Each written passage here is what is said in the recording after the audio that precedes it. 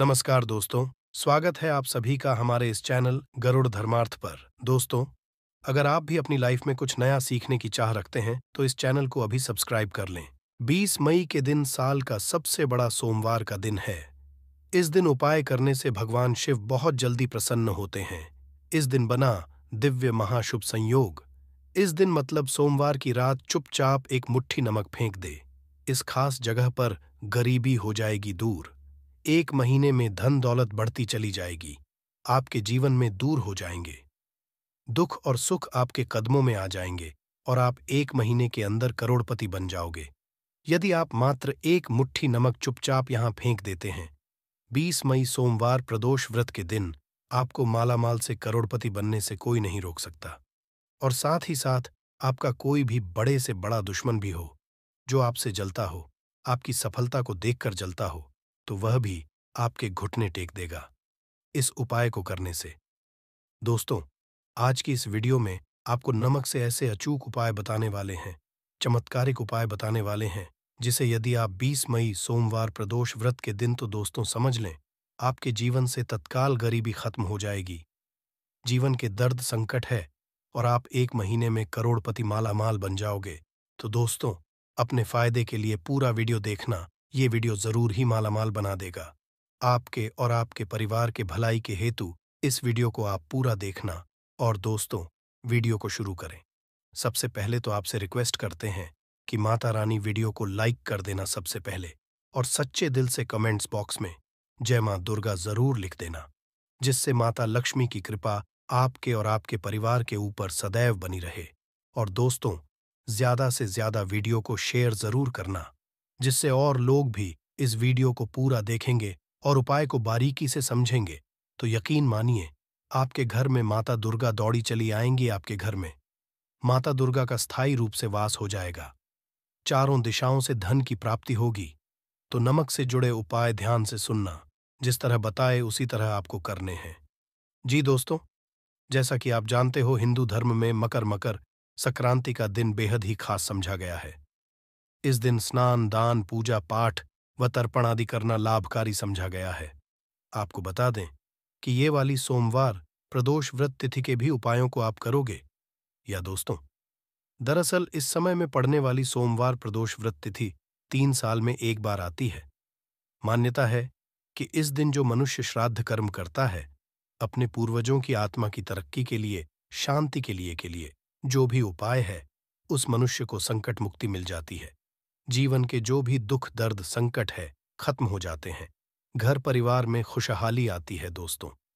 इस दिन मतलब पौष, दुर्गा, प्रदोष व्रत के दिन आपको सुबह जल्दी स्नान करना है।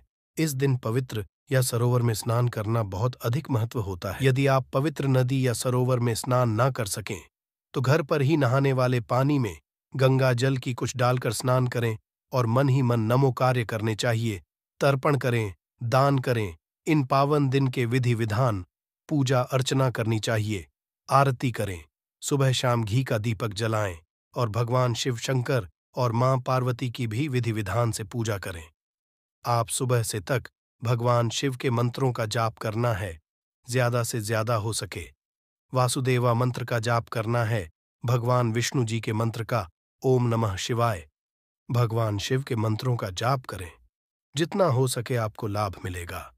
और दोस्तों, अब बात करें, आपको नमक से जुड़े कौन कौन से उपाय करने हैं, जिससे कि आपको तमाम तरह के दर्द संकटों से छुटकारा मिल सके और तत्काल गरीबी खत्म हो जाए और आप एक महीने में करोड़पति बन जाएँगे।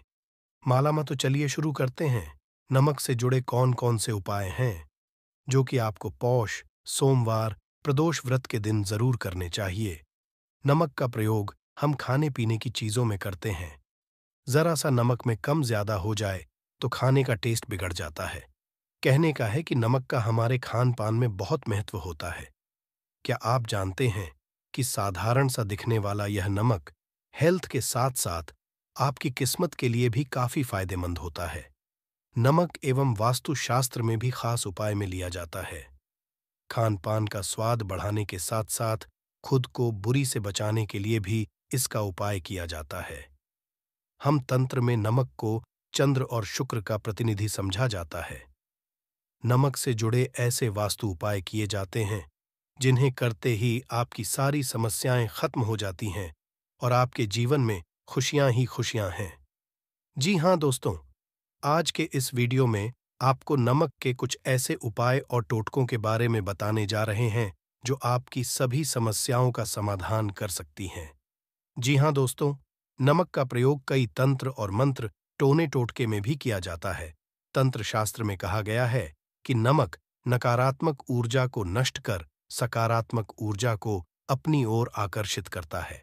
कुछ लोगों के लिए भी नमक का बहुत उपयोग करते हैं। सबसे पहले तो आपको बता दें कि नमक का होता है आयोडाइन, काला नमक डली या साबुत नमक सेंधा नमक। तंत्र मंत्र में घर की परेशानियों से छुटकारा पाने के लिए काला नमक या नमक का यूज़ किया जाता है। ऐसा कहा है कि नमक को कभी भी किसी मनुष्य को अपने सीधे हाथ से नहीं देना चाहिए। कहते हैं कि सीधे हाथ से नमक देने से इंसान से आपकी हो सकती तंत्र शास्त्र के अनुसार। यदि नमक को सही तंत्र मंत्र के साथ उपाय किया जाए तो आपको रातों रात अमीर भी बना सकता है। आप धन से भी बन सकते हैं, दोस्तों। पोछा लगाते समय मिलाए नमक दूर होगी धन की कमी। दोस्तों, आप जब भी अपने घर पोछा लगाए तो उसमें कुछ नमक ज़रूर मिला दें। ऐसा करने से आपके जीवन की जो भी परेशानियाँ हैं, खत्म हो जाएँगी। कम से कम आप हफ़्ते में दो बार तो ऐसा ज़रूर करें। कहते हैं, घर में नमक वाला पोछा लगाने से शीघ्र ही धन की प्राप्ति होती है। ये पूरे घर को पॉजिटिव ऊर्जा से होता है और घर में जो भी नेगेटिव ऊर्जा है, वह बाहर निकल जाती है।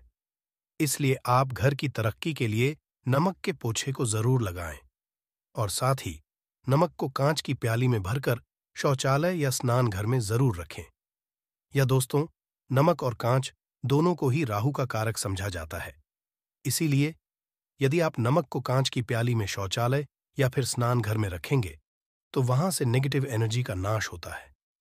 इसके अलावा इस उपाय से वहाँ मौजूद सूक्ष्म भी नष्ट होते हैं। इसलिए आप अपने घर के शौचालय या फिर स्नान घर में एक कांच की कटोरी में नमक ज़रूर रखें। तंत्र शास्त्र एक और उपाय बताया गया है कि नमक को कांच प्याली में भरकर उसके अंदर तेरह पाँच, यदि आप लौंग डाल दें, ऐसा करने से घर में धन की बरकत होती है और दुर्गा आगमन होता है। घर में सदैव सकारात्मक ऊर्जा का रहता है। साथ ही साथ नमक वाले पानी से बच्चे को नहलाएँ। या दोस्तों, यदि हफ़्ते में आप एक बार बच्चों को छुटकी भर नमक डालकर पानी से स्नान कराएँ तो बच्चों को बुरी नज़र नहीं लगेगी। साइंटिफिक रीजन भी है कि ऐसा करने से उन्हें एनर्जी से भी संबंधित कोई बीमारी नहीं होगी। साथ ही, आपके घर में सदैव क्लेश रहता है तो नमक का ये उपाय ज़रूर करें। या दोस्तों पति पत्नी में झगड़ा हो होता हो, या फिर घर में तनाव के हालात रहते, घर में सदैव वाद विवाद रहता हो तो इसे दूर करने के लिए आप कांच की कटोरी या फिर कांच के गिलास में सेंधा नमक डालकर बेडरूम, ड्राइंग रूम या फिर आप घर के किसी भी कोने में रख सकते हैं। नमक नकारात्मक ऊर्जा को सुख लेगा। घर में हालात धीरे धीरे सुधर जाएँगे और आपके घर ऊर्जा का वास होगा। और साथ ही यदि आपके घर में कोई बीमार रहता हो तो आप नमक का उपाय ज़रूर करें।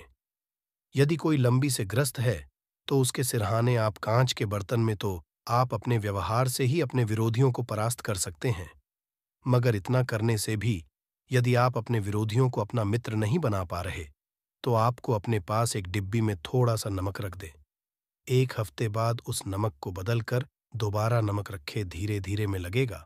साथ ही साथ नमक का ये महत्वपूर्ण उपाय हम आपको बता देते हैं। जिन लोगों को नौकरी नहीं मिल रही या फिर बिज़नेस में घाटा हो रहा है तो उनके लिए शास्त्र में ये उपाय बताया गया है। इसके लिए आपको अपने हाथ में पिसा हुआ नमक लेकर उसे सिर पर से बाहर घुमा लेना है। फिर आप इस नमक को दरवाजे के बाहर फेंक दें। ऐसा लगातार तीन दिन करें। यदि इससे भी आपको लाभ न मिले तो नमक को सिर पे से तीन बार उतार कर शौचालय में आपको फ्लैश कर दें। इससे आपको जल्द फ़ायदा कम मिलेगा। साथ ही ज्योतिष शास्त्र के अनुसार साबुत नमक या डली वाला नमक को लाल कपड़े में बांधकर अपने घर के मुख्य द्वार पर बाँध दें। इसे आप अपने कार्य क्षेत्र में भी, द्वार पर भी टांग सकते का संतेरा होता है। साथ ही, डली वाले नमक को लाल रंग के कपड़े में बाँध लें। राहु केतु ग्रह समझा गया है। वास्तुशास्त्र के अनुसार, नमक कांच दोनों का ही संबंध, राहु और ऊर्जा का केतु से है। ऐसे में कांच की कटोरी में नमक भरकर बाथरूम में रख दें। ऐसा करने से केतु के अशुभ असरों से मुक्ति मिलती है और सकारात्मक ऊर्जा घर में बनी रहती है। घर परिवार में सुख समृद्धि होती है। परंतु ध्यान रखें कि नमक को हर पंद्रह दिन के बाद आप ज़रूर बदलें और साथ ही साथ भोजन करते समय आपको दाल या सब्ज़ी में यदि नमक या मिर्च कम लगे तो ऊपर से आप उसमें नमक और मिर्च ना डालें। ऐसे में आप नमक या काली मिर्च का ही उपाय करें। ऐसा करने से शनि मंगल का दुष्ट असर भी नहीं होगा। साथ ही यदि आप पैसों की किल्लत से जूझ रहे हैं, पैसों की किल्लत आपको परेशान कर रही है तो आप क्या करें? कांच के गिलास में सेंधा नमक, अब दो लौंग डालकर जिसे आप अपनी तिजोरी या फिर अलमेरा या फिर अपने घर के जो किचन वहाँ पर रख सकते हैं भिगोने में। या दोस्तों, ऐसा करने से नेगेटिव एनर्जी खत्म होगी और पॉजिटिव एनर्जी घर में प्रवेश करेगी और आपको ऐसा करने से आपके घर में कभी भी अन्न धन की कमी नहीं। और माँ, सदैव आपके पर आशीर्वाद बना रहेगा। और साथ ही साथ, यदि आपको विरोधियों से बचना है तो नमक का यह उपाय करें, या दोस्तों कार्यस्थल पर कई बार कुछ सहकर भी हमारे विरोधी हो जाते हैं। ऐसे में ना चाहते हुए भी कार्यस्थल में हमारे काम में बाधाएँ आती, और जो काम अच्छे से संपन्न करना चाहते हैं, वह नहीं कर पाते। ज़ाहिर है, यदि आपके मन में ईर्ष्या और द्वेष की भावना नहीं है, नमक डाल ज़रूर चाहिए।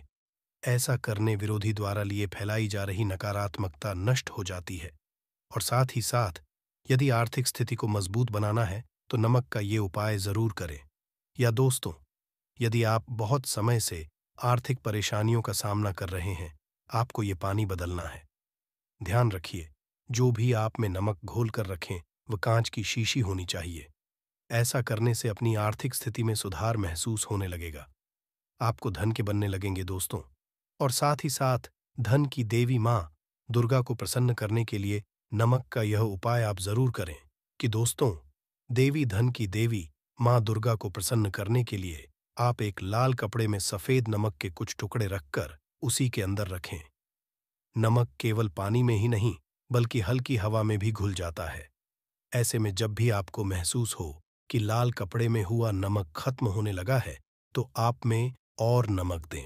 या दोस्तों, लाल कपड़े में नमक बांधकर अपने तिजोरी में रख सकते हैं।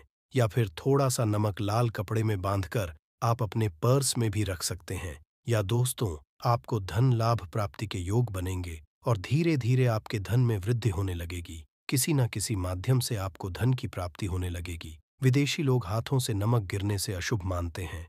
ज्योतिष शास्त्र अनुसार, नमक को चंद्र और शुक्र का प्रतिनिधि समझा जाता है। नमक को स्टील या लोहे के रखते हैं।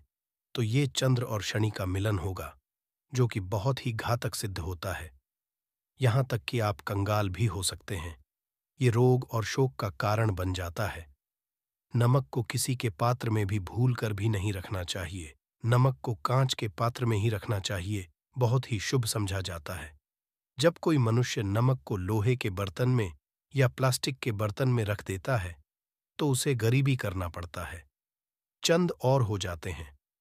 दोस्त अक्सर खाने में नमक कम हो जाता है और तब आप ऐसी स्थिति में थोड़ा नमक लेकर खाने में डालते हैं और बाकी फेंक देते हैं, जो कि बहुत ही अशुभ समझा जाता है। नमक का गिरना बिल्कुल भी अच्छा नहीं समझा जाता।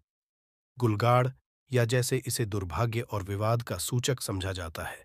भारत में इसका गिरना बहुत ही अशुभ समझा गया है। नमक को गिराने से चंद्रमा और शुक्र दोनों कमज़ोर हो जाते हैं। जिसके कारण साथ छोड़ देती है और आजीवन आपको गरीब रहना पड़ता है। नमक की कदर करें दोस्त और उधार, कभी किसी का नमक नहीं खाना चाहिए। कहते हैं, नमक का हक का अदा करना है। इसीलिए कभी किसी का नमक उधार मांगकर नहीं खाना चाहिए। इससे उल्टा बुरे दिन शुरू हो सकते हैं। नमक सदैव धन खरीदना चाहिए। इससे आपका छंद और शनि मज़बूत होगा। यदि आप गलती से भी किसी का नमक खाकर भूल गए हैं तब भी आपको शनि के प्रकोप का सामना करना पड़ सकता है। दोस्त शास्त्रों के अनुसार समझा जाता है कि शाम के कभी किसी से नमक नहीं लेना चाहिए और ना ही देना चाहिए। जब आप अपना नमक शाम के समय किसी और को दे देते हैं तो आपके घर की सुख समृद्धि ही चली जाती है। साथ ही साथ नमक लेने वाला भी बर्बाद है। इसीलिए शाम के समय नमक नहीं लेना चाहिए। दोस्त और नमक मिले पानी से पोछा लगाने से घर में जितनी भी नकारात्मक ऊर्जा होती है, वो नष्ट हो जाती है। दो बार नमक मिले, पानी से पोछा ज़रूर लगाएँ। परंतु याद रहे नमक मिले, पानी से दोपहर के समय पोछा नहीं लगाना चाहिए।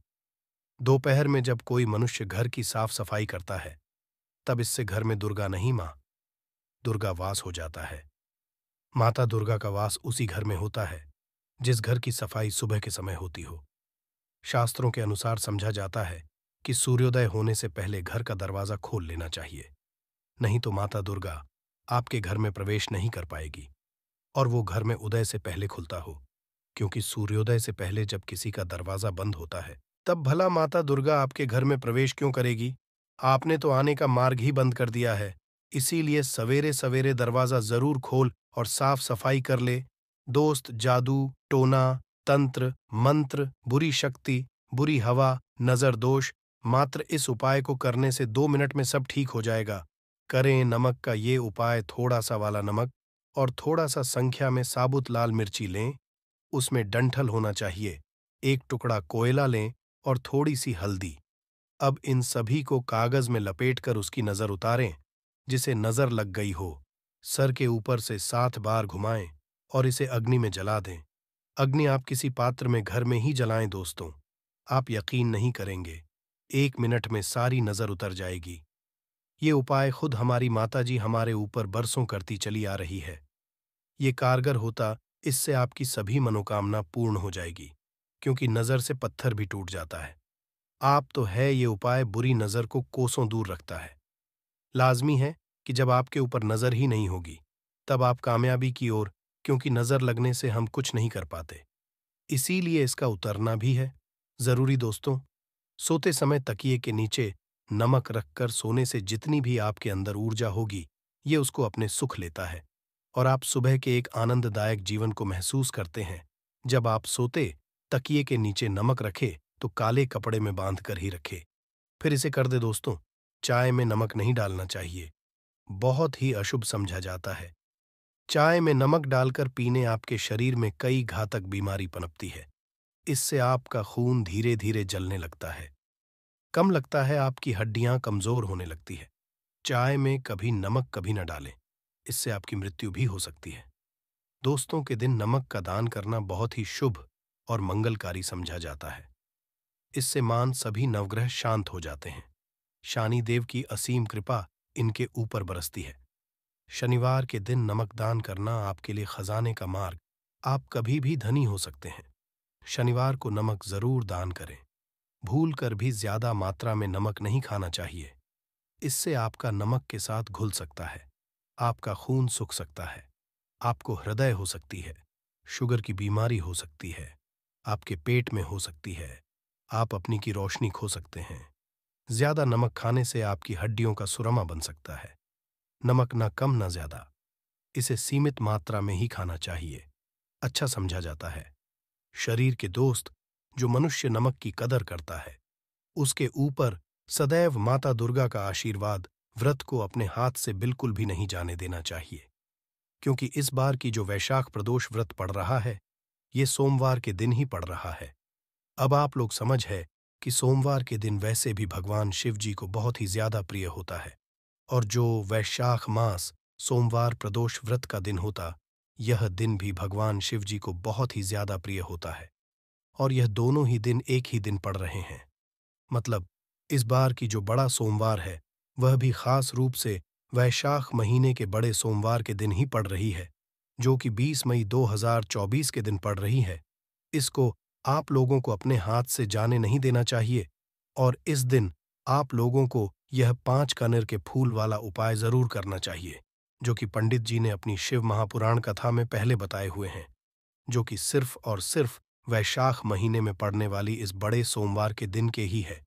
यह उपाय हम आपको वैशाख महीने के पड़ने वाले बड़े सोमवार के कुछ दिन पहले ही बता रहे हैं, ताकि आप लोग इन उपाय को अच्छे से सुन लो, समझ लो और इन उपाय को और आप इन उपाय का फल भी ज़रूर ले लो। ठीक तो चलिए दोस्तों, सबसे पहले उपाय के बारे में बात करते हैं। जो कि आपको इस वैशाख महीने बड़े सोमवार के दिन करना है।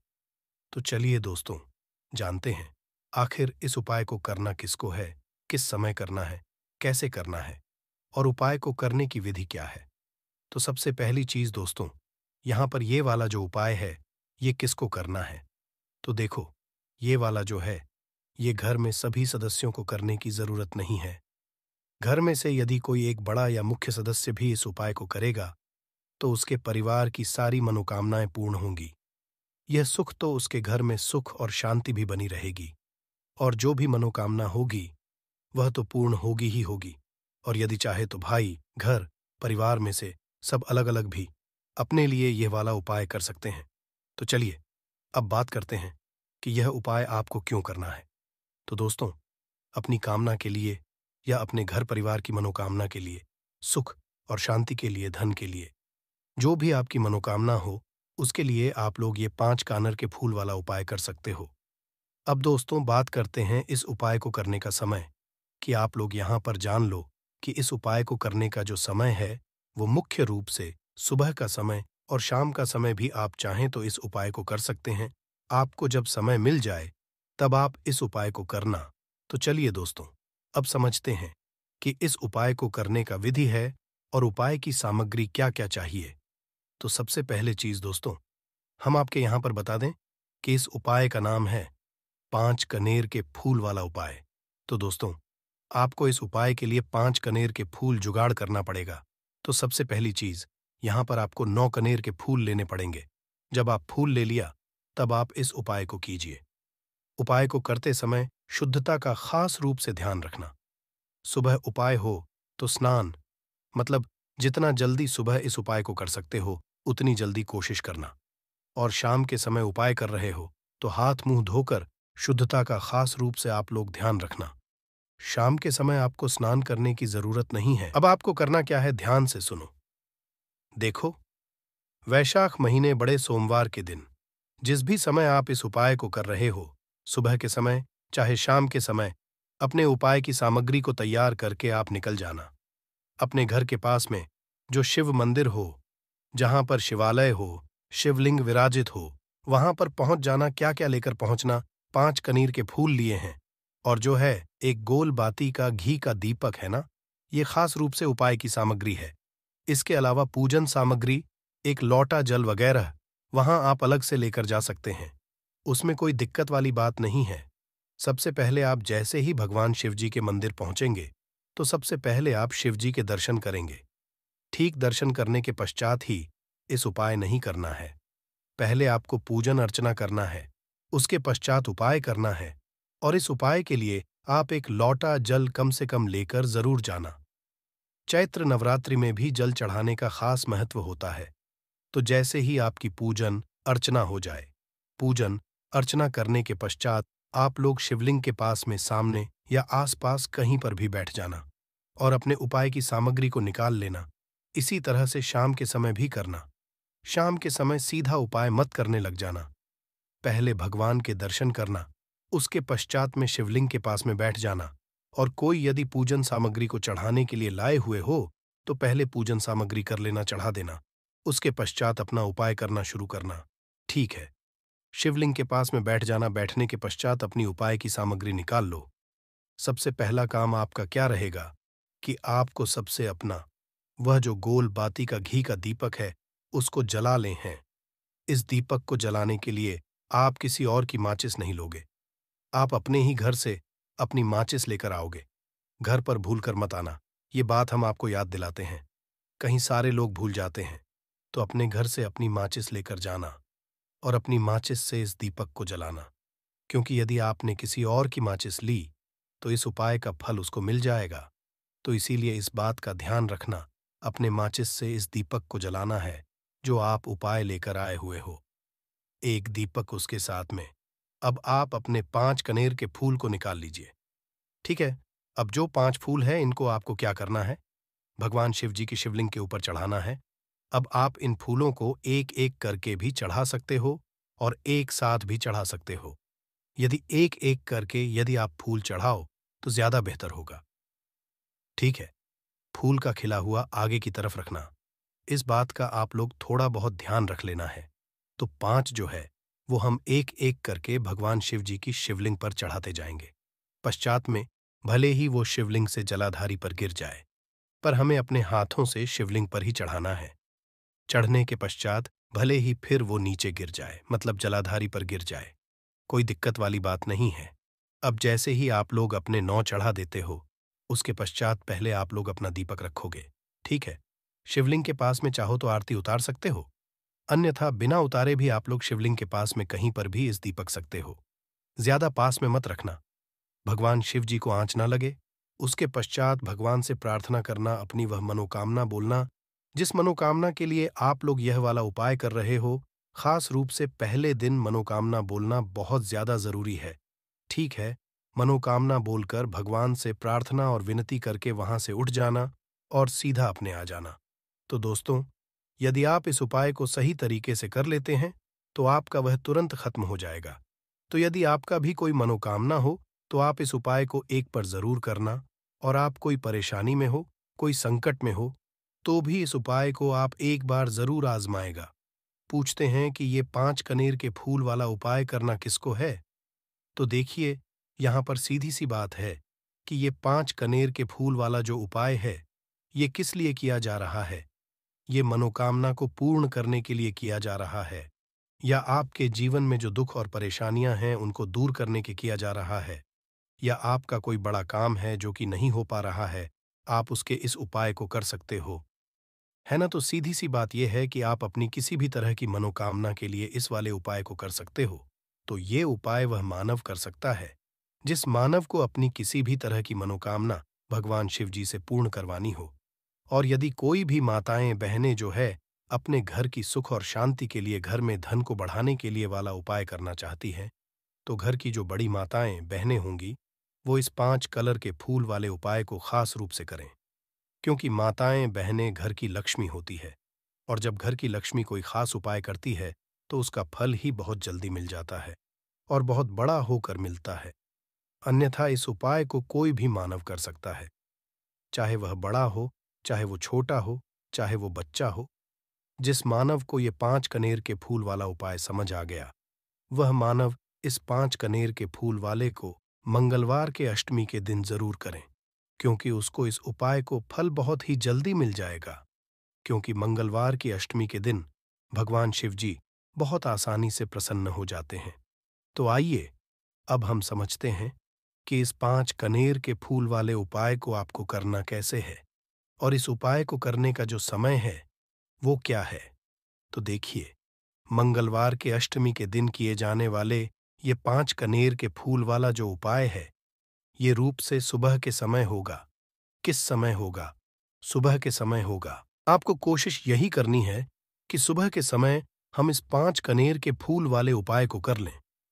पर किसी कारणवश यदि आप सुबह इस उपाय को न कर पाओ, आपको कहीं काम से जाना हो या किसी और काम की वजह से आप उपाय को ना कर पाओ तो आपके पास फिर दूसरा मौका रहेगा, जो कि शाम के समय का रहेगा प्रदोष काल ही रहेगा। अब भाई प्रदोष काल का समय भी एक बहुत ही लोगों के मन में प्रश्न जाता है कि भाई, ये समय होता कब है? कितने बजे से लेकर कितने बजे के बीच तक का ये समय होता है, ताकि हमें उपाय के लिए जो है करने का समय पता लग जाए। तो हम आपको बता दें प्रदोष काल का जो एक समय होता है, शाम का समय वो होता है, शाम के छह हज़ार बजे से लेकर शाम के सात या आठ बजे के बीच का। इस समय के बीच में आप उपाय को करेंगे तो आपको उस उपाय का ज़रूर फल मिलेगा। तो शाम के छह हज़ार बजे से लेकर शाम के सात बजे के बीच में आप लोग इस पाँच कनर की फूल वाले उपाय को कर सकते हो। तो भैया, बहुत सारे लोग यहाँ पर ये प्रश्न भी ज़रूर करेंगे कि भाई, हम तो नौकरी पे जाते हैं हम अपनी ड्यूटी पे जाते हैं और आने में हमें देर हो जाती है तो उस जगह पर हमें क्या करना चाहिए? तो देखिए, उन लोगों को भी टेंशन लेने की ज़रूरत नहीं है। यदि आप लोग इस उपाय को शाम के समय प्रदोष काल में कर रहे हैं और यदि आप आने में देरी भी हो जाती है, आपको आने में सात बजे तक आप पाते हो। तो भाई आप सात, दस या रात बजे तक भी यदि उपाय को करोगे तो भी चल जाएगा। और यदि इससे भी थोड़ा देर हो जाती है ना तो भी आप उपाय को कर सकते हो। क्योंकि मंगलवार की अष्टमी का दिन है। ये दिन बहुत ही कम आता है, पूरे साल भर में। इसलिए जब आपको मकान मिल जाए, जब आप इस उपाय को ज़रूर कर लेना है, न कोई भी उपाय हो, आप कभी भी कर सकते हो मंगलवार की अष्टमी के दिन। बस कोशिश करना कि समय के थोड़ा मतलब अंतर्गत ही कर लो, पर कारणवश यदि ना कर पाओ तो फिर आप थोड़ा देरी से भी कर सकते हो। आपको उपाय का फल ज़रूर मिलेगा, क्योंकि भगवान शिव बहुत ज़्यादा प्रसन्न होते हैं। सभी भक्त गणों से जो उनको प्रसन्न करते हैं। है ना? तो अब हम यहाँ पर समझते हैं कि आपको उपाय कैसे करना है। सबसे पहली चीज़ दोस्तों, ये जो उपाय है, ये पाँच कनेर के फूल वाला उपाय है तो सीधी सी बात है, इस उपाय में हमें पाँच कनेर के फूल तो लेने ही लेने पड़ेंगे। अब यहाँ पर एक सबसे बड़ी गलती होती है, जो कि आप उपाय में करते हो, और आपको पता भी नहीं लगता है, जो कि हम आपको बताएँ। देखिए, जो आप पाँच कनेर के फूल लेकर आओगे सबसे पहले तो कनेर का फूल आप लोगों को पता होगा कि कैसा होता है। हम आपको जब भी बता देते हैं, कनेर के फूल वो होते हैं, जो कि पीले कलर के होते हैं लंबे लंबे से होते हैं। आप लोगों ने देखे भी होंगे, वही कनेर का फूल होता है। तो आप लोगों को वैसे ही पाँच कनेर के फूल लेकर आने। ये कनेर के फूल आप लोगों को बहुत आसानी से मिल जाते हैं। बस आपको इसका पेड़ ढूंढना होता है और बहुत सारे फूल उसमें लगे हुए होते हैं।